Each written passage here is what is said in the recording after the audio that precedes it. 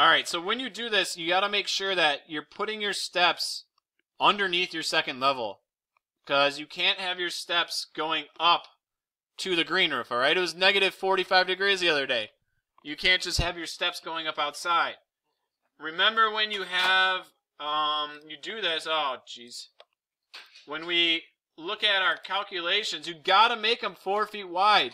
This is from your sheet. You have to do that. And the thing that's annoying when you go to make your steps, let's go to level one. And, oh, geez. I kind of spoiled the, the excitement there. We go to stair right here. It's going to default. Yours is going to open up like this. It's going to be three feet as default. So if you do nothing, you're going to do it wrong. And it's going to be hard to fix. So we're going to set it to four feet. Right now it's set up right where it starts at the base level one, level one, second floor structure. Let's check that. No. There we go. Because we want it to go just slightly, or we're supposed to go to level two. Ooh, ooh. Let's set it to level two. We can always fix it. So let's do stairs again. Level two. Apply. So now we have another step that kind of throws a wrench in my plans. But that's alright. So let's just do a, a, straight stair. Look at how it draws off the center. I click. Down here, it's telling me how many steps I need to make. Alright? It calculated that I need 35 steps, and it has that rise that's close to 7. Alright, if we want to change this because 35 is a nasty number to work with, I could change it to 34. Okay, and now it's it's a little above seven. That's okay. Seven and three quarters is our code. So I'm going to keep it at 34 because you'll see why in a minute. I'm a man of symmetry. And when we start, all I do is I'm physically creating the steps. I'm not done until I've made all of them. So if I stop here, I've only created 28. So I go all the way. Green check it. And then let's throw a camera view in there. And you can see why these would be like death stairs because there's just you know you need a you need a break. Like look at that. Yeah, an escalator. No, let's get one of those. Let's get someone to carry you. All right, so no, not a choice. You could do a variation of this and maybe do a landing. You want to see what that would look like? All right, so stairs. So I do stairs. I go up. Let's say 10 is about as much as Agnes wants to go. Then I just go a little bit further. You got to have at least a four foot landing. So boom. 10 again. Another landing. And I should have done a little bit more, but I blame you. So here, let's throw a 3D view in there. I'm to look this way. So, alright. So you could do that. Uh, the synagogue over at on uh, Dodge has something like this, right across from the Levy Center. Uh, what is it, JDL? I don't know. JRC. There we go. They have stairs that are very wide, and they we actually went there. Their their rise is very small, so the steps don't feel like you're climbing a mountain when you do them. They have landings, but that's not my cup of tea. All right, my cup of tea would be like a U set of stairs. All right, so stair and for this one, I like switching my run to the left. And so when I do it, all right, I would have to do 17, because that's half of 34, right? And then I go over here and see how... So that's decent. Now, if you wanted to get this perfect, you want to see it?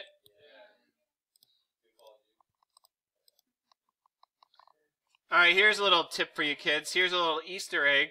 So here, if I click on the railing, I can change it to, I got glass panel. I got uh, pipes for you skater dudes. All right, so you could you could change them all up. All right, so that's that's a good stairwell for your emergency stairs, just because uh, it gives kind of that break point. It's still a pretty a pretty tall order to go up 17 steps for uh, older people and younger people. If you wanted to get this perfect, right? Um, let's do this. Let's make a landing. So I'm going to just go to my model line. I'm going to make a landing. My landing's four feet. And so my landing would have to be eight. I'm going to do eight, six, because that's going to give me enough room for my railings to kind of curl. And then you could throw stuff down the middle at people walking up. Like American Psycho style. With a chainsaw. Alright, so now I have my landing. Now what I'm going to do is I'm going to take and make a line four feet. And I use this little tool. I click it, offset. My tread is 11 inches. You can see I did this. So I, would I already have one step done. Right? Because that would be a step to get up to that landing. Two, three, four, five, six, seven, eight, nine, ten, eleven, twelve, thirteen. 14, 15, 16, 17. All right, so now when I start this, stairs, run on my left, width 4, cross my fingers. I go up. It just gives me some points to click onto. And then bam, now it's like it's pretty it's pretty nice. It's pretty compact. And what I would do with this is I would have this in an area on an exterior wall, so you have your stairs there. And you can always make like a bump out of your library, right? If you're like, well, my space is tight already, Mr. Totsch. Well, make a little bump out, right? A little rectangle that comes off here. And you got to make sure that you put your partition wall in there for your fire rating an hour. So, all right, you there. I'm gonna go. I'm gonna just go to this column because that's gonna give me enough room to put a fire door. It would go out and an exit. You get a fancy exit. All right, I know I'm using a single flush out. Now, the thing I forgot to do is I need to set this to go all the way up to my next level because it needs to be completely enclosed to be fire rated. So I don't know, uh, structure. It didn't yell at me, so that's good. All right, and then when I go to my second floor now, It's right there. So if I click on this, I don't need to click on it. What am I talking about? We just go to vertical opening. I click on the floor. I always like to go to 2D view of my top because it's just easier. And then I'm going to make a shape. And I'm going to go over here to my wall. And you could have it looking down on just this part but you kind of lose the usable space over here because you know the whole stairs is right here, right? So if I wanted to just do this, well, I'm going to do this for demonstration's sake.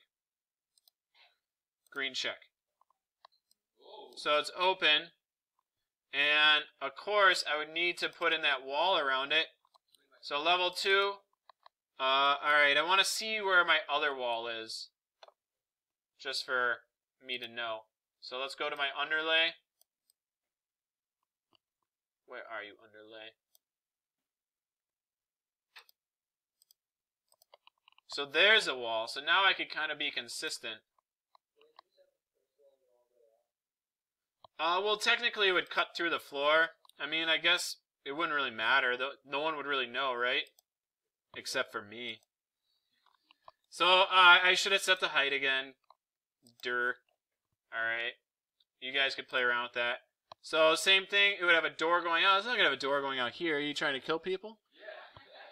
Yeah. And if I look at this,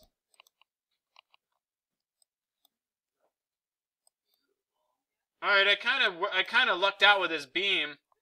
What happens right here if some kids are playing Truth or Dare?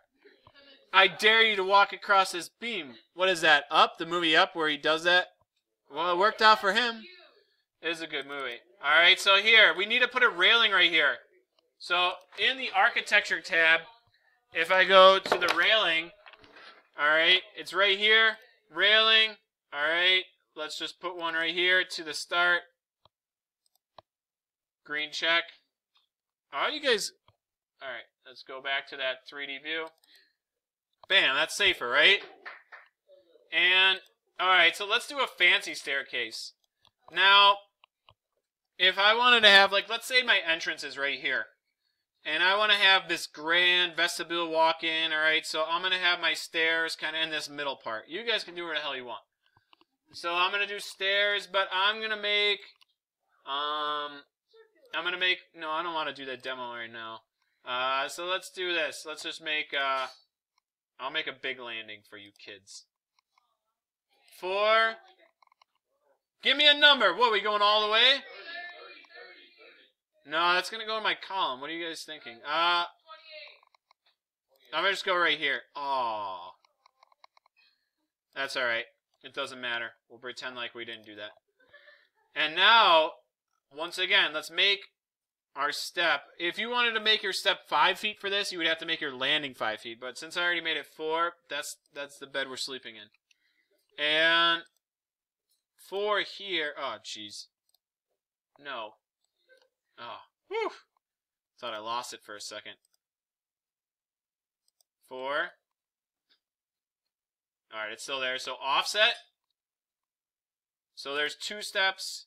Three, four, five, six, seven, eight. Alright, eight sounds cool. So let's take these, let's highlight these, copy, let's select it, put them over here, and then let's make a, our landing, let's copy that. Select it using control, copy, bam. Alright, I don't know what this is going to look like. I'm a little freaked out right now. Well, I'm going to offset this some more. Alright, so I'm going to start right there. So let's do stair. Sometimes things work out. Let's see. I go up to here. I go all the way over to my landing now. All the way over.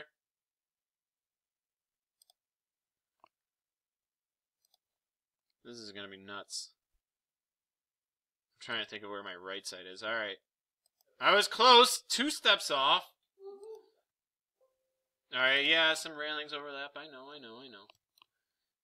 Let's go. Camera. Move that bus!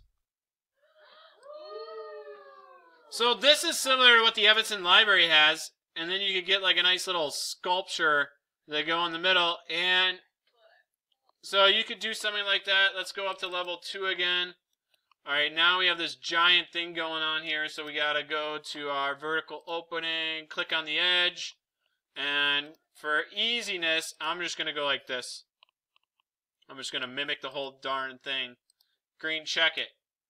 3D view. Alright, so now, ah. Yeah, so I need to go to edit this boundary, and I would just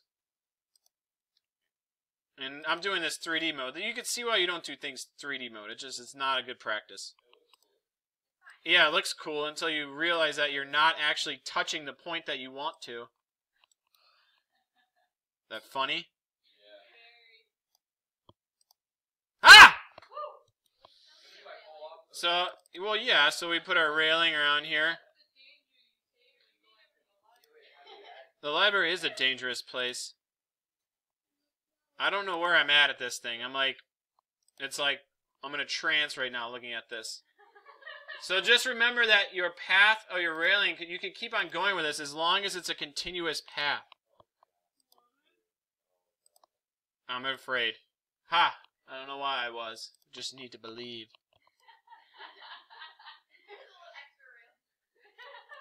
Well, you have it going up, so I would have to bump this over. But you get the idea. You could play with it. I kind of lucked out. I kind of lucked out with my beams because I don't think any of my beams are like in my stairwell, except right here.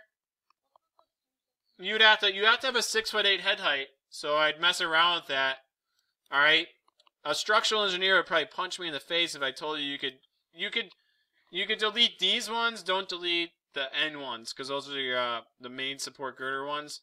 And so, if you have any that are in the way, Stay away from the ones that go from column to column. So I could delete these if I unpin them. You just have to have a 6'8 head height. Like this is going to decapitate someone. So I could take and delete these.